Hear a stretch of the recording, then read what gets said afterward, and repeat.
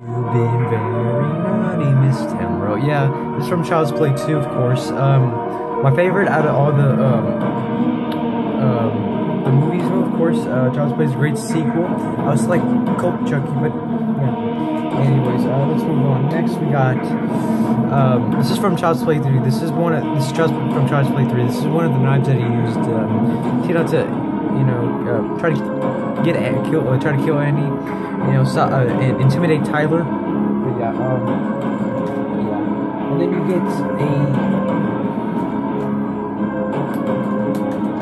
You get a kitchen knife, which is from well, any Child's Play movies, because Chucky uses, you know, kitchen knives a lot. This could be from any Child's Play. This is from uh, either, it's either from Cult Curse of Chucky, um, Bride of Chucky, you know, Curse, I mean, Child's Play 2, Child's Play 3, you know. Child's Play 3 has no kitchen knife, so yeah.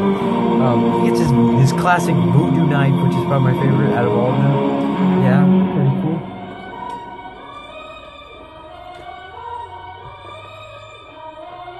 And then you also get his hammer, the good guy's hammer that he used to kill Maggie. I don't know how a small little dog could kill a, an adult woman, but yeah, it's kind of quirky and so stupid. You know, this Child's Play franchise. Oh, and um, we also get um, the box. You can actually fix. You can actually put it together.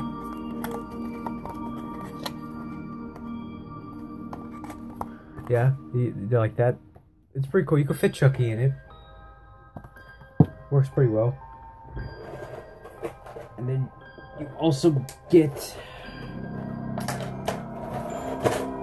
baseball bat, kitchen knife. I mean, um, sorry, it's a knife that he used in Child's Play 2. You know, he, he uh, this knife is actually important because look. He he lost his hand in Child's Play 2 and then replaced it with this uh, with this uh, knife hand.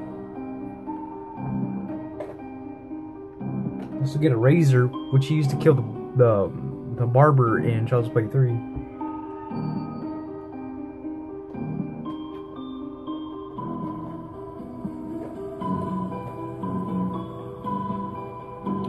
And then also you get um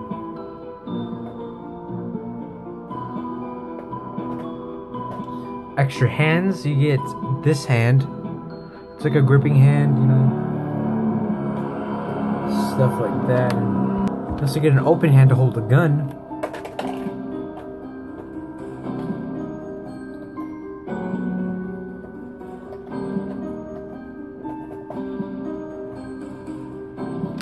You also get uh, another gripping hand to hold whatever.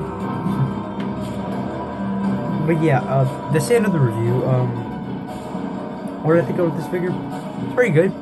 I would give it a 9 out of 10 because the one problem I have with this figure is that it doesn't come with a regular, you know, you know Chucky in Child's Play 2 and 3, he has this, just a regular doll face. He doesn't grow eyebrows or nothing like that, like this. You know, he just has like a, eyebrows and stuff like that. But yeah, other than that, the figure's great. I love it. Oh, I hope I can get the of Chucky version. It's 45 bucks. I don't know. Maybe I'll get it someday. But yeah, other than that, cool figure. Anyway, see you guys later. Peace out. Wait for the Optimus Prime figure